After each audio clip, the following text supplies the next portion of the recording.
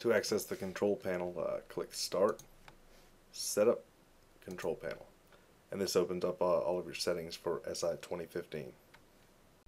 Here is where you can set up phases. Um, phases are important uh, for charging labor inside of SI 2015. It's not the only way to charge labor, but it is the uh, primary way that uh, we've designed for labor to be charged here. The other way being labor line items, which is covered in another video. So what you see here um, is after installing um, SI 2015, uh, there's a stock list of phases, rough-in, trim, finish, and programming. And uh, those are the default names. We highly recommend that you don't change these names. Um, you can add to this list um, if you if you need to, and uh, chances are if you're going to add to this list, it will be more for uh, labor line items. And again, that's a topic covered in another video. This labor here is intended to be attached to each product um, along with a number of hours. So uh, you put your rates in here. So every time you add a product to a project, uh, it calculates the labor for you based off of the rates here and, and the number of hours. So uh, the reason we recommend not renaming these, uh, at least the rough-in, trim, and finish uh, phases, is that when you do download data from DTools, uh, they will be pre-assigned rough-in trim, or finish. If you happen to change rough-in, say to pre-wire, and uh, then download what we would consider a rough-in product out in our database, it will come down with no phase, and it's just going to be an extra step for you to have to assign the phase uh, to those products. If you only fill in um, one section out here, the base labor, uh, that will get you going in the software. And that's just uh, what we're asking here for is the cost per hour for your labor. You'll have to you know find a weighted average of, of what it costs you to pay your installers essentially, you know, to do rough-in work, trim work, finish work, and programming. And then the selling price, how much you charge your clients for labor. So uh, in this example, I'll just put 50, I'll put price around 100, and uh, or you can type in the margin and have it calculate for you. It's up to you. Um, don't change this difficulty percentage. Um, that should always be 100 out here. Um, you could change it within a project, and that would simply um, it, it, affects the hours. So for rough-in, say um, you create a project uh, inside of that project slash job, I could change the difficulty to say 200%, and that would double the hours for all the products that I've added that are in the rough in phase. Uh, that way, it saves you from you know having to edit each individual item. But here globally, leave it 100. Uh, now the optional um, steps here are adding miscellaneous labor, which is kind of a fudge factor. Um, it's usually a small percentage of an hour. That's what this factor percent column is. It's a percentage of an hour for each hour of rough-in. What, in addition, do you want to charge for miscellaneous labor or management labor or design labor? Uh, I'll skip miscellaneous for now.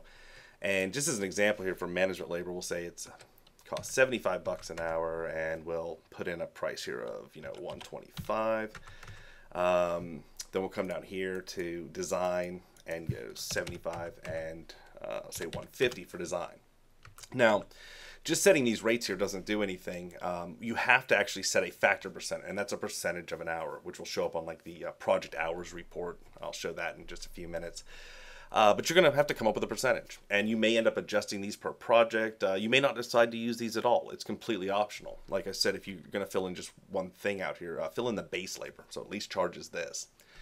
But uh, you can see over here, nothing's being charged for these other ones till we say put in 10% and 10%. And then you can see that there's a factored number here uh, that goes into the total for how much you're going to charge per hour for, in this case, rough-in.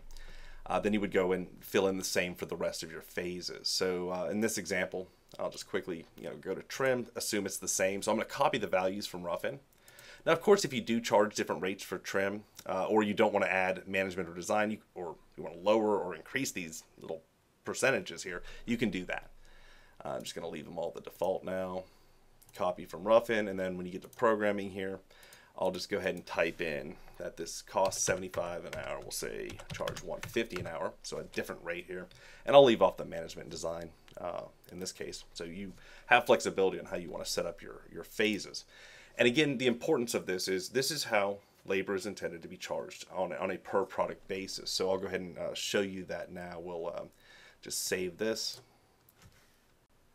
I'm just going to navigate over here to um, the catalog, manage products, and I'll pick a product out of the list here. Uh, let's find something. Here's a mount. we'll open this up and we'll go to the price tab. And you can see that this, uh, besides having a cost and price on this, it's assigned a phase, the finish phase, and then half an hour, 0.5 hour uh, labor hours here. So that's automatically going to charge um, half an hour at the finish rate. Uh, if you'd like, you can always click the view button here, and based off of your global phase settings, um, it'll calculate out for what you're going to be charging for labor here for that half hour. You know, including if any management or design that you may have thrown in um, if you're if you're using those fields. And the phase, of course, since it's calculating labor, it appears on many, many reports throughout the software. So uh, let's go here to Projects, Manage Projects. We'll go to the Reports tab here. Um, like for instance, under management, um, if you're running a gross profit report or a detailed cost summary report, you can see down here that there's groupings and uh, these are called the definitions. So one of the groupings is by phase and of course project hours. Uh, if you expand this, you could uh, run it by manufacturer if you wanted to, but uh, phase is a very common way to run this particular report for uh, project hours or by phase by location, a combination of groupings. Uh, let's go ahead and run this here and this will generate a report. And as you can see, I told it to group by phase. So here's the four phases that were in this job. And then uh, based off the products that were added, uh, there's base labor here, uh, no miscellaneous, but you can see there's management and design hours uh, displaying as well, besides the, the base installation hours for this project. Uh, now you can also uh, run proposal reports, of course, um, that will show labor. And by default, though, we don't show a, a phase breakout, but you can if you want to.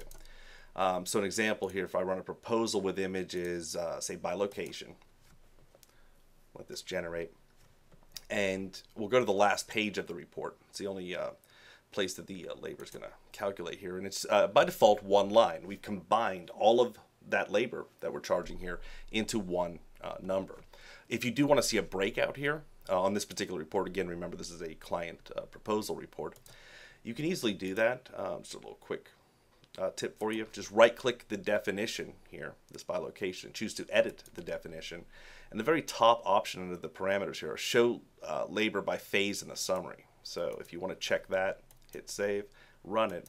Uh, some of you may think this is too much information to show on a proposal, but again, just showing the option if you ever wanted to break this out.